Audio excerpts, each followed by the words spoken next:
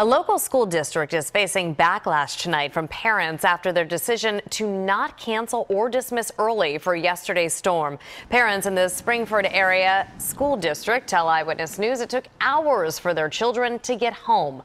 This is some cell phone video by a high school student shot shortly before a bus became stranded. Spring-Ford was the only district in Montgomery County that did not have an early dismissal. I think he should have followed the other rest of the schools. I mean, you have how many other schools? Nine schools out of 10 going home early, and we're the only school district that are still in session. Come on. there was just like so much traffic and a lot of like accidents and stuff around, so it kind of took us a little while to get home. The district superintendent released a statement reading in part, I make decisions based upon the information I have at the time a decision has to be made. I understand that people are upset that I did not do an early dismissal, but my reasoning, I believe, was sound safety.